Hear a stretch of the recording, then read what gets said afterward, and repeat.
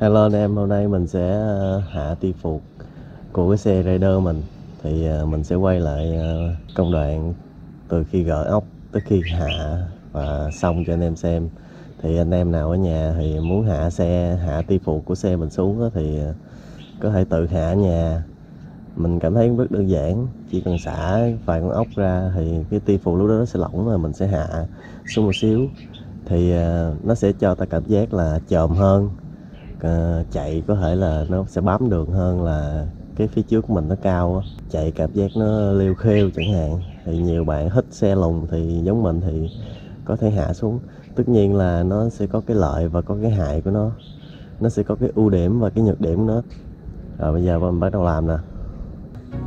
Đầu tiên là chúng ta gỡ bánh trước ra.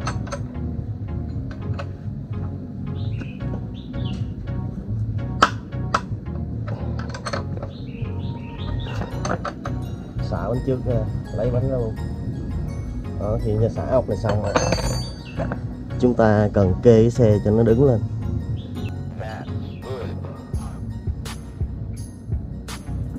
Rồi, ok.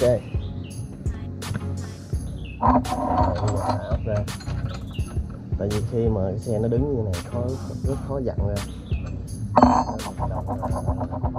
Dặn xả ra trước rồi mình mới chống cái xe lên cái này lên lấy tay nhỏ là chứ đừng lấy búa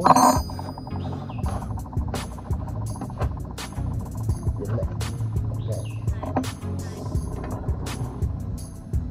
Này lấy trước rồi. Tiếp đến là anh em ờ, mở cái về ra.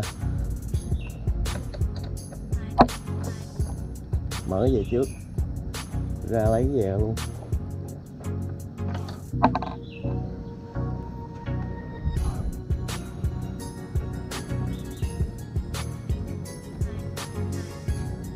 Anh em cần à, cái con vít đầu bự nhau chứ đừng có xài vít đầu nhỏ vít đầu nhỏ nó rất, nó rất dễ làm cho tuôn cái này. Ok đây là lần đầu tiên mở ốc về trước luôn. Tiếp đến là anh em thấy trong đây nó có con ốc phải không? Ốc này là ốc 8 thì mình lấy chịu khóa 8 mình, mình dặn nó ra luôn.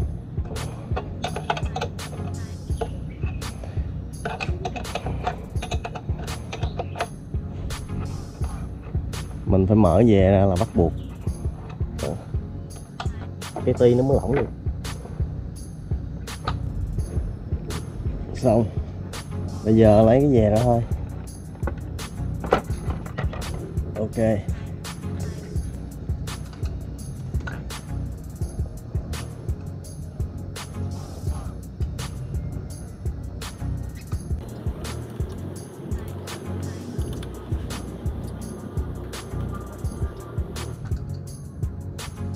con trên này mình mở luôn.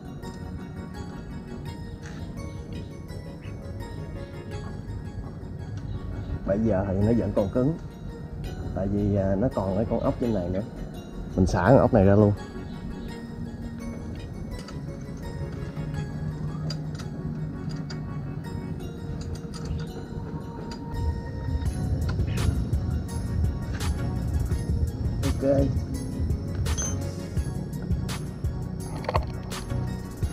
Đó, khi mình xả cái này ra thì à, mình sẽ có thể nâng cái ti lên này nè. Bây giờ mình sẽ nâng lên một xíu rồi mình dặn lại rồi mình xử lý cái này sau.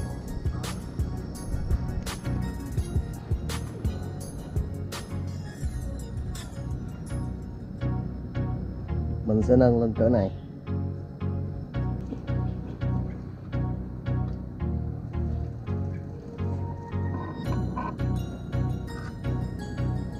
Bây giờ chúng ta sẽ dặn cho nó cứng đỡ lại.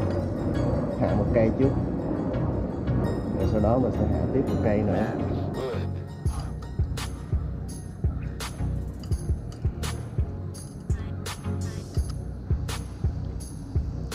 Rồi bây giờ mình dặn qua lại luôn.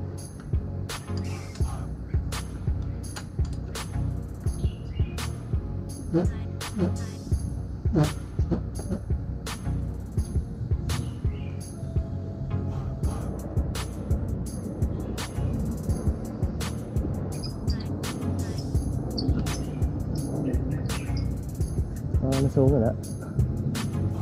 chưa à, bây giờ dặn ốc lại. Rá vô đi chút rồi mình dặn luôn.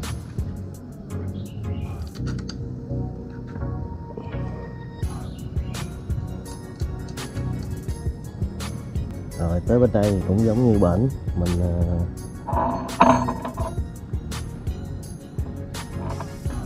xả ra thôi.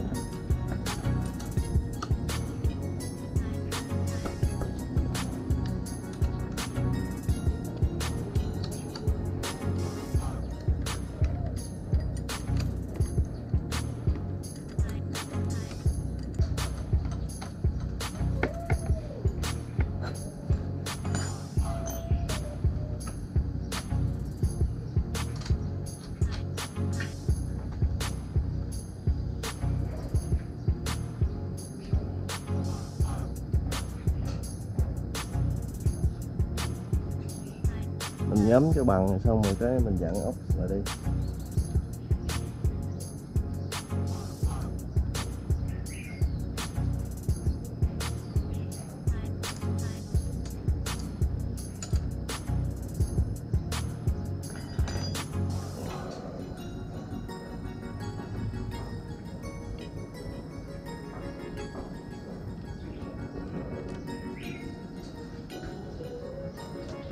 Mấy bạn, lấy cây cốt á, mấy bạn đút như thế này thử nè. Nếu mà nó nó lỏng đó. đó. Là ở trên nó ngay rồi đó. Rồi kỹ hơn nó chút xíu nữa mình sẽ đo ở trên ờ, cái đầu ti ở trên nó dư nữa. Nó như nó lỏng như vậy là được rồi nè. Đó. Ok rồi đó giờ dặn ốc rồi giờ là mình sẽ ờ, đẩy cái này xuống đẩy này xuống rồi dặn con này lại là xong. Đấy, mình hạ cũng chút xíu à. Ok bây giờ mình sẽ đẩy nó xuống.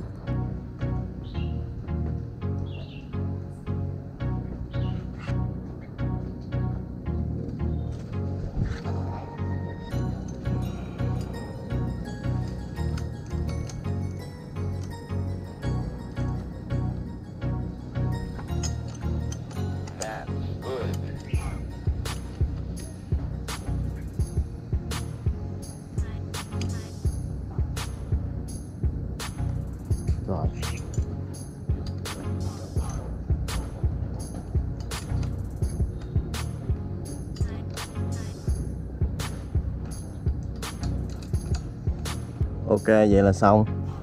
Thì mình hạ một bên, mỗi bên như đây? Như đây là cũng khá nhiều rồi á. Thì à, mình như đây thì mình chắc chắn sẽ không ờ, nhúng sẽ không có đụng đâu, nên anh em đừng lo. Thì cái phục nhúng của mình nó sẽ còn như đây? Đây, nó còn như đây?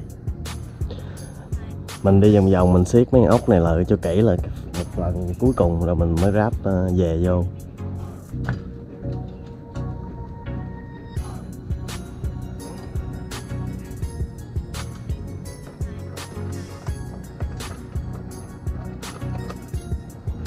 Mình hạ phụ có này nó cho mình cái cảm giác cái xem này sẽ lùng lại. Gọn hơn. Hồi đó giờ mình đi xe nào mình cũng hạ phụ hết từ hồi đó là mình đi ờ, quay nè, móc neo nè, winner nè. Thì xe nào mình cũng hạ phụ một tí.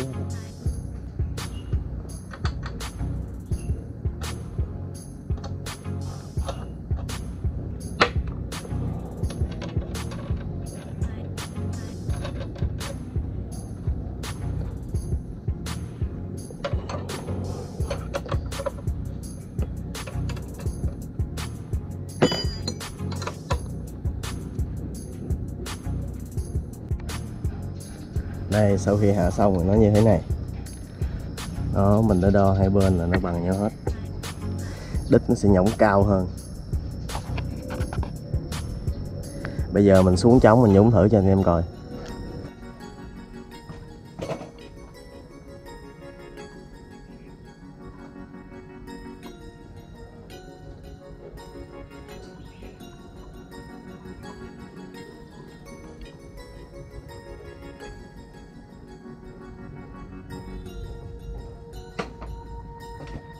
Đó, bây giờ mình tóm tắt lại cái quy trình mà gỡ để mình hạ cái tì xuống. Trước tiên là mình tháo bánh. Mình tháo bánh ra mình khỏi tháo này. Cái này khỏi người tháo. Tháo về ra. Xong rồi cái mình tháo hai ốc này ra. Lỏng ra. Nơi lỏng ra thôi. Ốc này cũng vậy. Đó, mình tháo ốc này luôn. Xong rồi bắt đầu cái ti nó chưa nó vẫn còn cứng lắm. Mình xả con này ra. Thì lúc đó mình đẩy ti lên để ti lên theo à, bao nhiêu phân mình theo ý mình á. Xong rồi cái mình à, cầm cái tay này nè, mình từ từ từ từ. Nó sẽ, có thể là nhiều xe nó cứng lắm nha, tại nó bị à, ra ten đây nè. Mình từ từ mình ép xuống. Mình ép một xíu là nó xuống còn miếng đây là bắt đầu mình dẫn ốc lại trước khi đó mình canh. Cho ghi đông đựng méo thì mình cầm cái này mình canh hai bên. Bạn nào hít ghi đông cụp vô thì gậy hai tay ghi này vô trong mình á, xong rồi dặn lại còn bạn nào hít theo cái cách zin của nó thì chúng ta canh ngay giữa. Đó, bên đây cũng vậy luôn. Thì anh em có lỡ mà canh mà ghi đông bị méo thì anh em xả ra. Xả ra thì mình canh lại. Cái này cũng dễ mà. Nó xong xuôi hết, mình dặn ốc lại. Mình dặn mình dặn ốc này là cứng lại hết nè. Xong cái mình cầm cái cây này, mình ép nó xuống, rồi mình dặn ốc này lại mình làm từng cây đi rồi mình đo. Đó. Rất là dễ.